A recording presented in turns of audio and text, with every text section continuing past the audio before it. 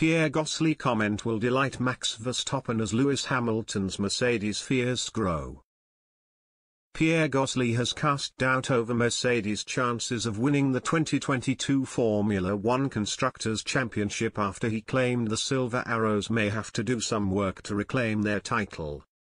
Gasly, who races for AlphaTauri, Red Bull's sister team, finished ninth last season and recorded one podium at the Azerbaijan Grand Prix. He formerly raced for Red Bull in 2019, although he was dropped after he produced what Red Bull deemed to be inadequate performances. However, with rumours on the cards that he could return to the Austrian side in the future, many will be watching how his season progresses ahead of the season opener in Bahrain on Sunday.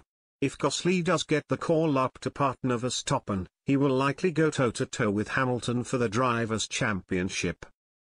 And his comments on how Hamilton will fare this season could spark new fear into the Brits' preparation after he claimed Mercedes do not look as good as they have in the past.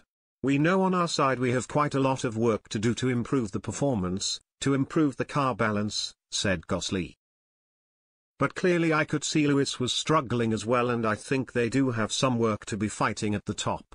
I think the conclusion is that Mercedes probably don't look as good as they were in the past. But it's only testing, it's part of the test, and exploring how to get the best out of the car. But yes, in terms of racing it was clearly an interesting few laps, quite fun battles, and I think it should make all the races quite exciting for you guys this season.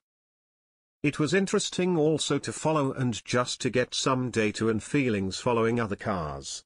So I think it's clearly better than last year, which makes me quite optimistic in terms of racing for the season. The 26-year-old will line up alongside Yuki Tsunoda for AlphaTauri as the duo go on the hunt to amass more than the impressive 142 points registered last season. The Italian side finished just 13 points behind Alpine last season in the race for fifth place. The new season starts on Sunday with new regulations being administered ahead of a blockbuster campaign.